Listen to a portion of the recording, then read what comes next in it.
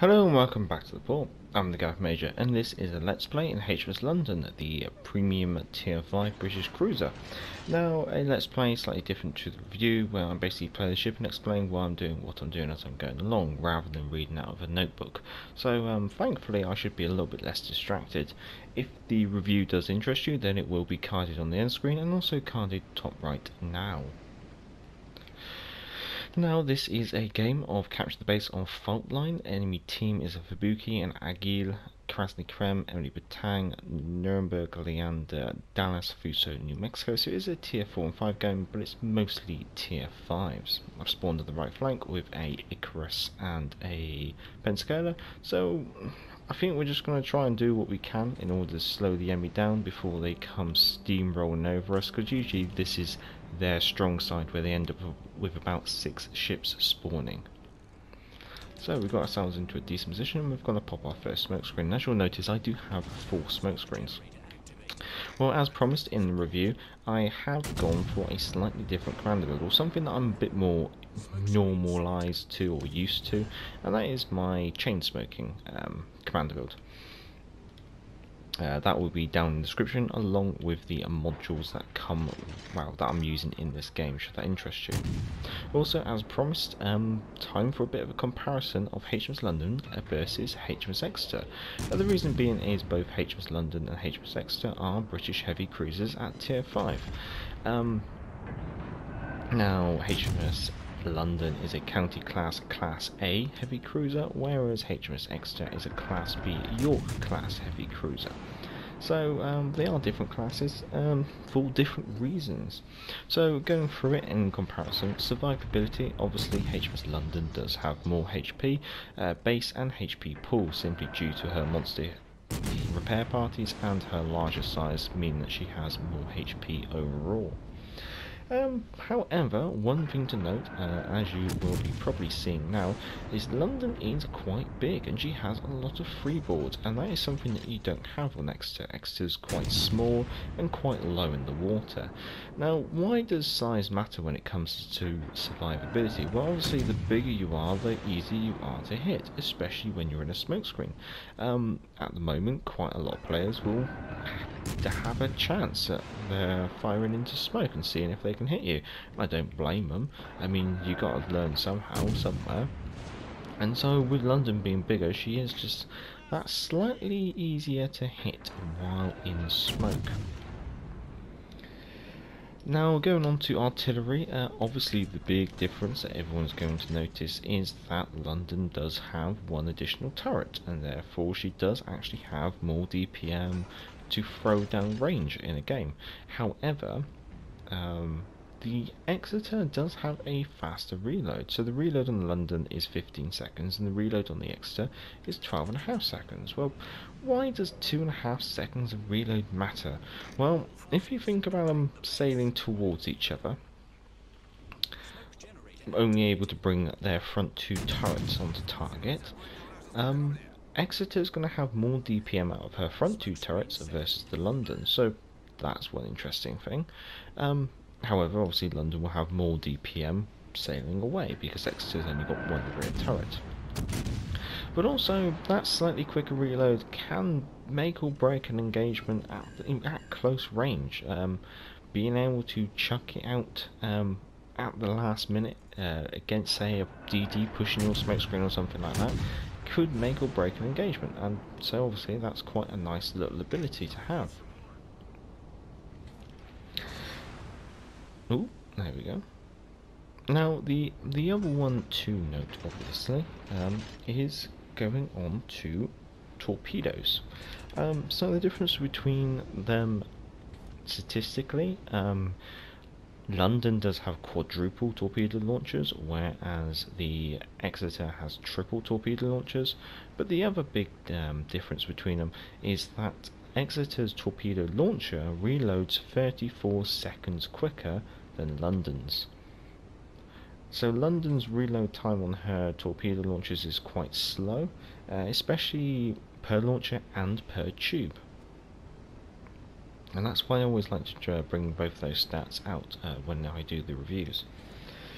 Now, the other one is that Exeter does have slightly higher damage from her torpedoes, so again, they're going to hit slightly harder. Exeter's torpedoes are longer range, they are faster, but they do have slightly worse detectability. So that's two things to bear in mind there.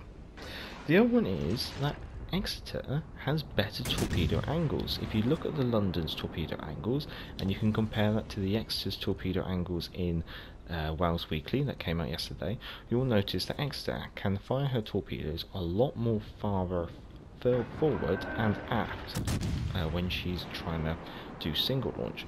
Now that additional angling is quite a nice little ability um, when you're having to do in kiting maneuvers or having to make maneuvers within your smoke screen. So that's two things to take away from the torpedoes. Now, obviously, going on to manoeuvrability, um, they are the same speed, but Exeter, due to her smaller size, does have a smaller turning circle, and then also to add on to that is that uh, Exeter does have a faster rudder shift, so Exeter kind of wins the manoeuvrability category as well in comparison. And the other one is, I, I haven't been able to obviously confirm it, but it does kind of feel that um, Exeter does have a slightly faster acceleration in comparison. But that's based on feel, and I haven't been able to really confirm it with any kind of stats or anything, unfortunately. Now going on to concealment, Exeter is of course slightly better, however how much better she is, is simply just a matter of a hundred meters in detectability from air and from sea, um, so it's not exactly uh, buckets of distance between them. Going on to consumables, they have exactly the same smoke screen, so there's nothing really to compare here, it's apples for apples really. Um, now, obviously, London does have that monster repair party which does heal 555 HP per second for 20 seconds. So that means um, from HMS London you will be getting 11,060 HP per repair party. Comparing that to Exeter's uh, 4,116 HP per repair party. So obviously, London's going to walk away the winner from there. Going on to sonar, now this is quite a big difference. In fact, it's probably the biggest difference you have. HMS London comes with three number, long duration, short range, short reload defensive sonars, I guess you could say, where they can pick up ships at 3.5 kilometers and torpedoes at 2.5 kilometers. However, that detecting uh, torpedoes at quite a short range um, isn't it doesn't give you super amounts of time to react uh, just due to your kind of poor maneuverability at low speed slash low acceleration at low speeds obviously. Whereas Exeter comes with two times long range German style um, radars, offensive radars. Now these can pick up ships at 5.1 kilometers and torpedoes at 3.5 kilometers. So I'd say Exeter's sonar is better because it's more aggressive, I guess you could say, um, which means that you can almost use it as a mini radar um, when destroyers get close. Whereas um, London's sonar seems to be a, a, bit more of a defensive sonar, something that you use just to generally protect your area. But it's not exactly going to give you lots of response time either to, to incoming torpedoes. In fact, it's a less range than most sonars at the tier for the cruisers, so that's something to bear in mind. So all in all, that has been the general case of the differences between the two. I think they both have a place in the game, they both have very similar but slightly different playstyles due to their consumables and things like that.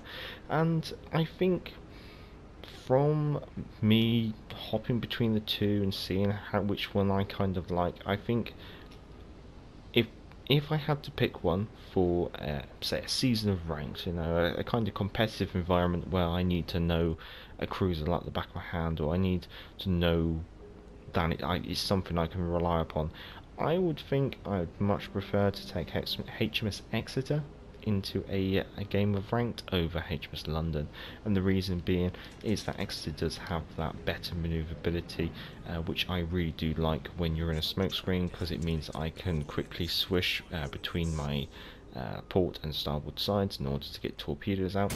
Um, also because she's smaller, she's harder to hit when in the smokescreen. Also because, again, of her smaller size, she has more maneuverability within that smokescreen. She's got more wiggle room.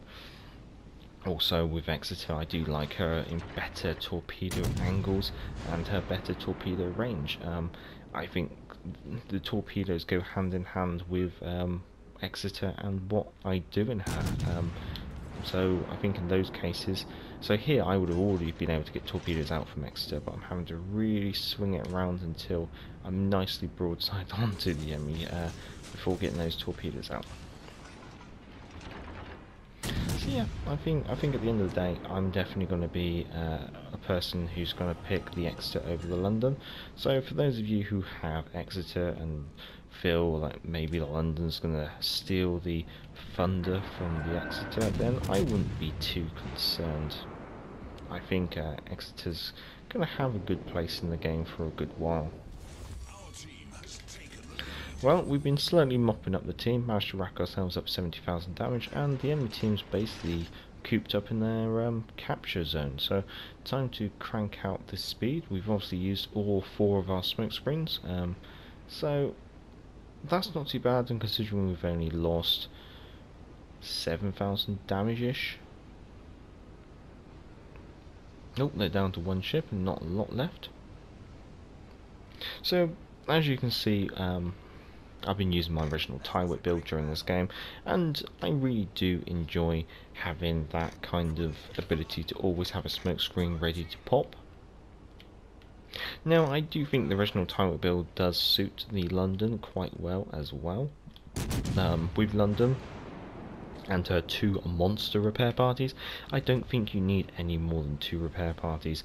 Um, now with Exeter, with her smaller repair parties, yeah, you could probably justify going for trying to get free repair parties with fully packed, but I just like the uh, the Smogathon on a cruiser, especially a smoke cruiser, I should say, and the ability to have those fast reloading, longer range torpedoes as your backup. Oh well, quite a tidy game, 70,000 damage, got myself 12 fires, didn't really get any torpedoes into the water, the enemy didn't really get that close to be fair. Looking at the scores on the doors, yeah, came in alright on my team, I'm quite happy with that. Along with the Icarus that I spawned alongside, he did a good job doing a lot of spotting. That's what I like, I like to see destroyers who do their spotting, because that then means that I can then use my smoke screen. And then it means that they can focus on torpedoes and spotting, I can focus on smoking and shooting, and it means that together we end up getting quite a good score because they're getting a lot of spotting damage and I'm getting the damage which always makes quite a good uh, combination. That's why I think a smoke cruiser and a destroyer is a really strong division um, especially if you've got good communication between you two. Although in this game complete random, um, and obviously it's just down to the quality of the destroyer that you spawn in alongside sometimes. Uh, going to the economy, obviously made myself a pretty penny, being it's a tier 5 premium cruiser, uh, or tier 5 premium I should say, uh, where the discounted um, ship service cost obviously then allows me to rake in a bit more credits. So all in all, quite happy with that game, and quite happy with that let's play and that comparison of London to Exeter. If you've enjoyed the video, give it a thumbs up. If you enjoy this kind of content, feel free to subscribe and check out some of our other content carded on screen now. If you're already a subscriber, I'd like to say thank you very much guys and girls for your support and contributions to the channel.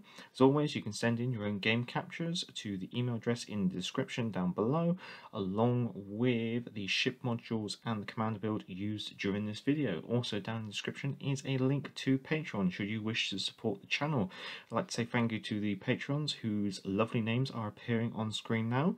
Until next time, I'm the Galloping Major, and back to the port.